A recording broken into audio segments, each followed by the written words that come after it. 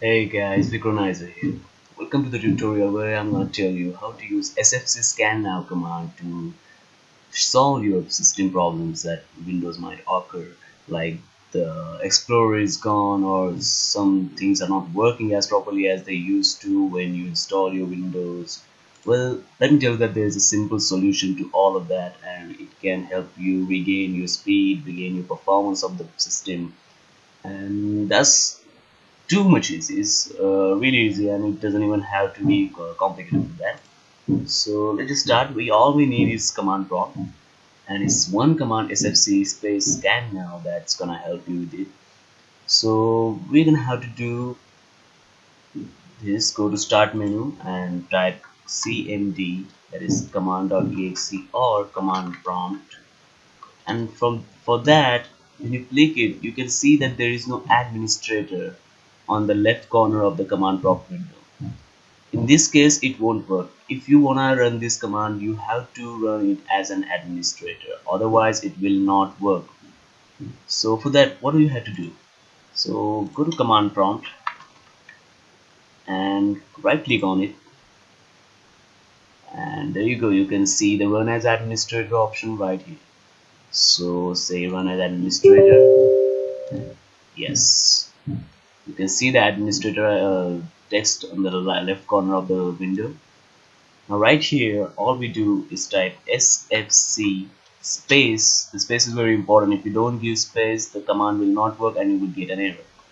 And uh, forward dash and scan.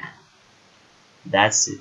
When you press enter it's gonna scan like this. Beginning system scan now. The process will take some time. It will take nearly 5 to 10 minutes depending on your performance of your computer.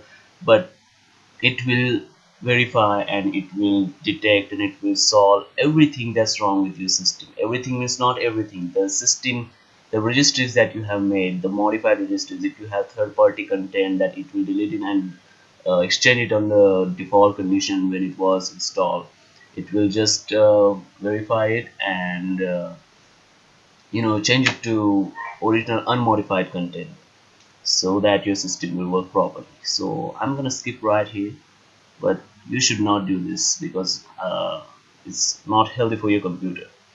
So let's just say that you don't have explorer. You have error of not explorer. You have error where you can't see the explorer right here and you don't know how to run command prompt. So in that case what do you do?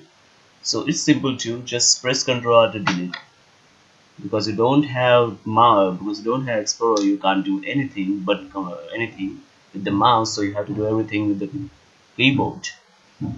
So start task task manager and when it starts you can see that this is my recorder go to applications and say new task. So if you type cmd here like I did and when you run it it runs at just cmd and not the administrator. So what do you want to do for here is this? Go to new task go to browse and go to C Windows and system 32 see it's right here. And in system 32 you can find command prompt. Let's just search for it. Here we go. Command prompt. So the same step just gonna right click on it and say run as administrator. And yes. See you can see administrator record right? And the same steps again. Sfc space forward dash scan now but remember this space is necessary otherwise you will get errors. It will automatically scan it will automatically resolve all the problems and you won't have to do a thing. So that's this is it. And thanks for watching. If you have any queries please comment in the box. And if you like this video if it helped you please subscribe to my channel. Thank you for watching